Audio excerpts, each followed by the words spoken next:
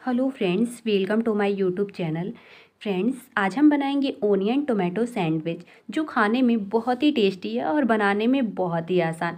इसमें आपको बाहर से कुछ भी नहीं लाना है, घर की ही चीज़ों से बहुत ही अच्छी सैंडविच बन के तैयार हो जाती है। तो चलिए फिर देर किस बात की, इसे बनाना शुरू करते हैं। इसे बनाने के लिए मैंने यहाँ दो बारीक प्याज काट लिया है और दो टमाटर काट लिया और दो तीन हरी मिर्च को काट लिया है।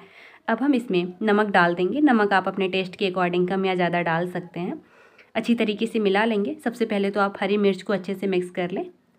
सभी चीज़ों को हम मिला लेंगे।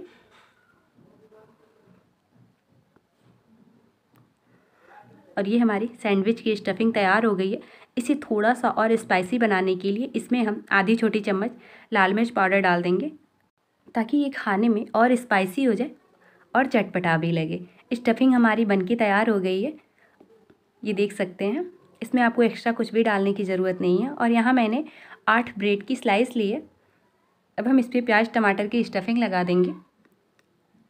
अच्छी तरीके से फैला दें। अब हम इसके ऊपर सेकेंड पार्ट रख देंगे। और ये हमारी एक सैंडविच बन के तैयार हो गई है। इसी तरीके से हम सारे सैंडविच को बना के तैयार कर लेंगे। इसे बनाना बहुत ही आसान होता है और खाने में बहुत ही अच्छा लगता है। आप एक बार बनाकर देखिएगा, आपको ज़रूर पसंद आएगा। और यहाँ मैंने, यहाँ देख सकते हैं, चार सैंडविच बना के तैयार कर लिया है। अब हम इसे सेकने के प्रोसेस में चलते हैं। इसे सेकने के लिए मैंने गैस पे एक पैन रख दिया है। अब हम इसमें थोड़ा सा ऑयल डाल देंगे। अगर आपके पास घी या बटर कुछ भी हो, जो भी आप खाना पसंद करते हो डाल सकते हैं। अब हम इसके ऊपर ऐसे सैंडविच रख देंगे। एक बार में जितना पैन में आ जाए, उतना रख दें।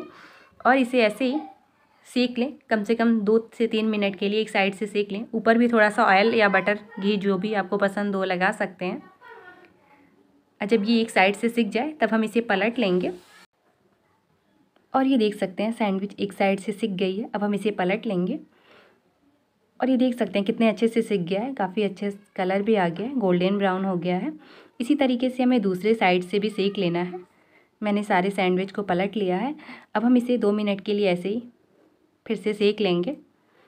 और पूरे दो मिनट हो चुके हैं और ये हमारी सैंडविच दोनों तरफ़ से सीख गई है, देख सकते हैं। ओनियन, टोमेटो सैंडविच बन के तैयार है। गर्मा गर्म हम इसे सर्व करेंगे।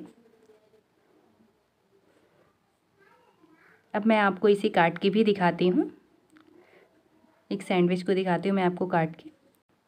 ये सैंडविच ऊपर से क्रिस्पी भी है और खाने में बहुत ही ज़्यादा टेस्टी भी है। ये देख सकते हैं, प्याज, टमाटर कितने अच्छे से स्टफ़ हो गया है। और ये हमारी ओनियन सैंडविच खाने के लिए बिल्कुल तैयार है।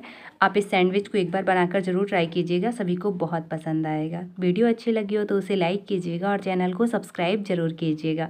मिलते हैं ऐसी ही एक नई मज़ेदार रेसिपी के साथ। तब तक के लिए bye bye thank you friends